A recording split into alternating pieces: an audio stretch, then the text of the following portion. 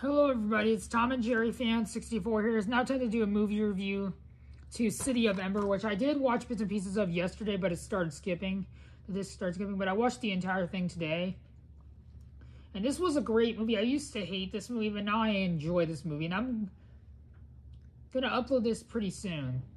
This is a great, great movie, and it's from Walden Media, the studio who brought you Journey to Center, which I do have on DVD. I hope to get Journey to Center Sound back in collection on DVD. And DVD excuse me, the DVD of Center if I have is the 3D edition DVD. This is a 2008 DVD, 2008 movie starring Saoirse Ronan, Mary Kay Bill Murray, the late Martin Landau, Resident Evil, Toby Jones, and Tim Robbins. This is a 20 approximately because of Playtime and Walden All three logos are shown. A family-friendly Adventures of Clive USA, which I agree. Spineback. Rousing and action-packed with the late Roger Bishop sometimes rest in peace, which I agree. A thrilling Adventures of Susan Walker, Toronto Star. This is one of two Canadian DVDs I have from 20th Century Fox Entertainment. The other one being Big rated PG for, and it's 95 minutes. This, this side's on the full screen side and your side's widescreen. This movie was a fantastic movie. I'm going to make this review quick. But this movie, I'm going to make this movie review four minutes long probably. This was a great, great movie. It doesn't get the love it deserves. I don't think this, I, I don't think this movie's as good as the book. But I think the movie's still a great, great, fun movie that I would definitely watch again. It's a great, great movie. And one of my, my foster mom, or friend. I'm not going to give out her name because due to privacy reasons. This is a great, great movie. One of the best book to film adaptations I've seen in a long time.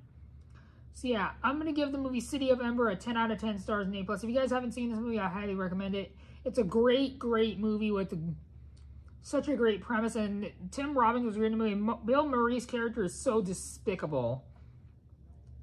His character just definitely does. Sorry about the spoiler. This is going to be a spoiler review, by the way. Sorry if you don't, you guys don't want this to be spoiled. I highly recommend you suggest you click out, click off this video and watch the movie for yourself. So yeah, Bill Murray's character definitely deserved what he when to get eaten in this movie because he's tried to sacrifice someone's life and he was he was stealing. That's the main reason why he signed his death warrant that his character got killed out that I think he deserved is when he tried to kill somebody and went after two innocent kids just because they um just because one little girl played by Saoirse Ronan exposed him for stealing food from the from the from the people. Yeah, sorry about if I was getting a little bit ranty on that. So yeah, I'm gonna give the movie City of Ember a 10 out of 10 stars in plus. Yeah, that is it for my movie The City of Ember, which I hope you guys enjoyed this video. And if you're generous enough, please consider leaving a like on this video subscribe, plus it really helps out. And I'll see you guys all in my next video. Bye, everybody. Adios. Peace out.